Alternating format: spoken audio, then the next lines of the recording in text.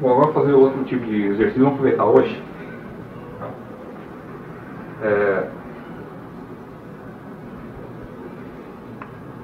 todo mundo percebeu o espírito da coisa. Não, eu não costumei desde o início a falar em voz alta, para a pessoa não habituar condicionamento exterior de novo.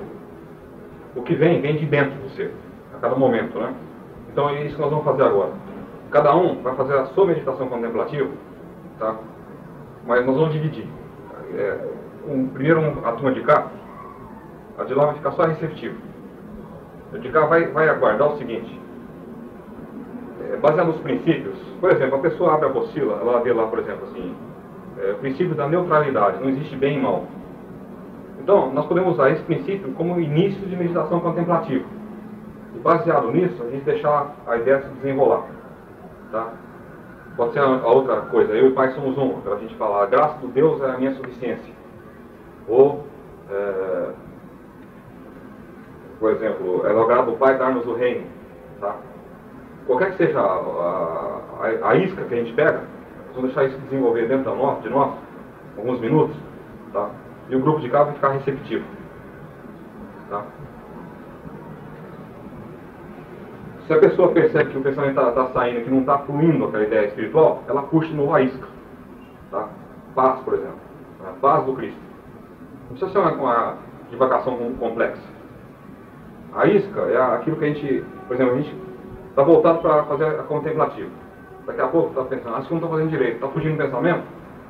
Em vez de fazer isso, pega uma palavra curtinha, amor ou paz, Deus ou paz, né?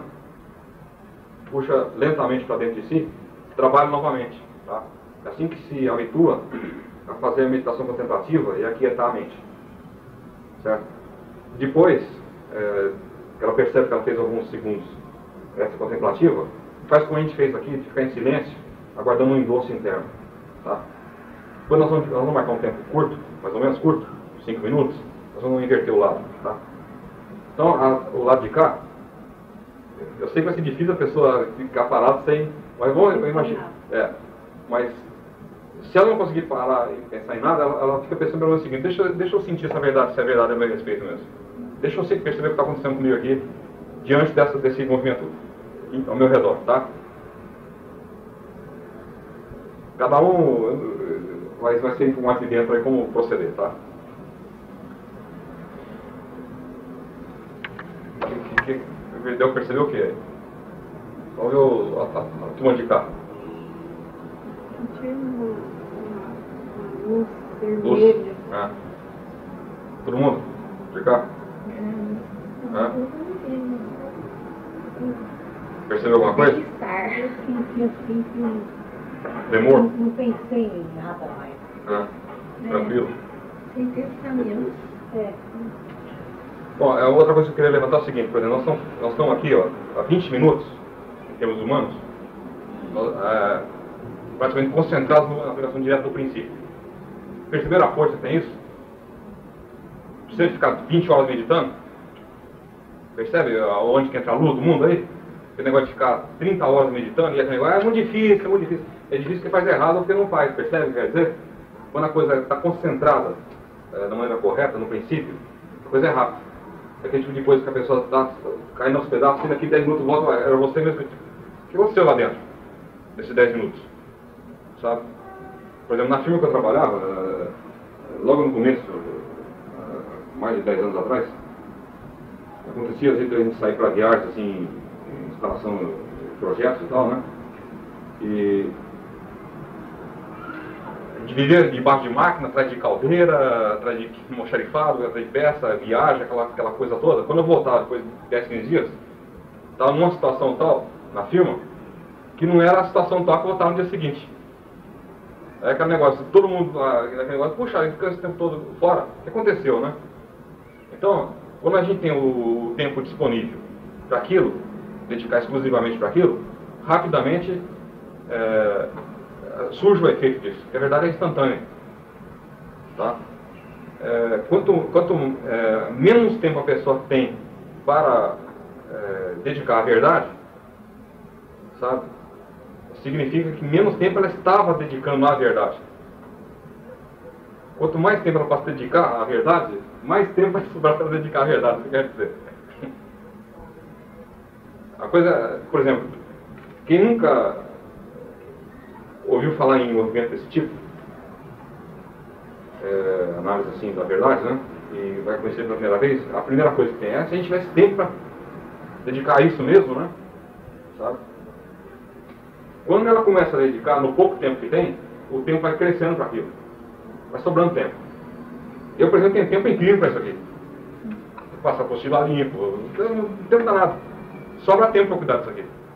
Porque as coisas do mundo não me preocupam. Sabe? Eu, eu quando chego na firma lá, não tem, não tem um monte de cabeça esperando a coisa, devendo, isso recebendo, a vereador que deu rolo, não tem problema para mim. Então, os problemas que deixam de surgir na aparência devido à conscientização da onipresença, permite um tempo disponível para aquilo que realmente é. Certo? Então isso aí é para aqueles que dizem que tem muito, muito ocupados ainda, que gostariam de ter um tempo maior para dedicar isso, deixa aquilo que estão ocupando tanto, né? Ah, ou, ou seja, a efemeridade do mundo, tá? com as suas crises e seus, seus ministros, né? vamos conscientizar, é, conscientizar quem somos e o, e o tempo que nós sobrarmos, nos sobrarmos disso, o nosso negócio não, não vamos ter que cuidar dele mais. Isso aí eu assino embaixo, nunca comigo que aconteceu a primeira vez, não sou diferente de ninguém. Existe uma lei funcionando. Essa lei é válida para todo mundo. Dona Francisco, quantas vezes ela foi na firma já? Quantas vezes você viu aquele negócio tribulado lá, bagunçado? E eu cheio de problema. Ela já viu alguma vez? Hã? Por que isso? Por que isso? A firma não é o meu objetivo. O objetivo, a, o objetivo da firma é divino. Agora, o meu objetivo não é o da firma. Percebe a diferença? O objetivo da existência da firma, firma é divino. Tem um cumprimento cósmico. Tem uma finalidade cósmica a existência. Não é o meu objetivo a firma. Então, quando a gente entra num contexto global, universal, a nossa ação é inclusa no todo, ela flui como um todo e vai sobrar tempo para isso. Tá? Vai sobrar tempo para isso, para passar férias, passear de férias, né? vai sobrar tempo para viajar, para ir em baile. Quem gosta de baile é, vai ao baile sem problema nenhum, vai ter a finalidade dele naquele baile. Né? Não foi por acaso que ele foi. Eu sou místico, não frequento bailes. Isso é místico. Místico é aquele que sabe que o mundo não existe, esteja na boate ou na casa dele. Ele está ali como luz do mundo. A luz é, é ele. Onde ele vai, ele está clareando. Tá? Eu já vi muito, muita crítica, por exemplo, todo mundo conhece a Darlene Glória, né? Aquela atriz. Ela trabalhava em filme pornográfico anos atrás. Aí. Você viu agora de modelo cristão aí, né? Tem um aceito? Mudou o nome dela, aquele negócio todo. Quer dizer, é, o efeito dela para aquelas pessoas que, que rodeavam é maior do que uma pessoa que não era a, da vida dela. Certo? Chegar uma madre lá e falar assim, olha, siga Jesus Cristo, é diferente do que a Darlene Glória chegar naquele ambiente dela e falar, siga Jesus Cristo. Porque os antecedentes geraram a luz. Percebe o que eu quero dizer? Então nunca nós podemos criticar os outros. É exatamente isso aí, aquela questão do não julgamento, né? A história desse filme aí, estão discutindo. É, também. Também. Então, qualquer análise humana é sempre é, limitada. Não enxerga nada, né? É tem dos olhos e não vê. A ação cósmica está por trás disso, certo? O, quem diria que, que Paulo apóstolo era, ia escrever passagem na Bíblia antes de, eh, quando ele chamava Saulo? Né? Então, a pessoa, outra, aquela mania que a gente tem, né? Aquela pessoa lá está aquela pessoa está não sei quantos anos naquele ensinamento lá e não aplica nada aquilo que lê. Né? Então quem não está aplicando é ela, né? Está vendo a pessoa. Certo? Então, é, vamos centralizar essa maravilha aqui, disponível a nós. Isso está disponível.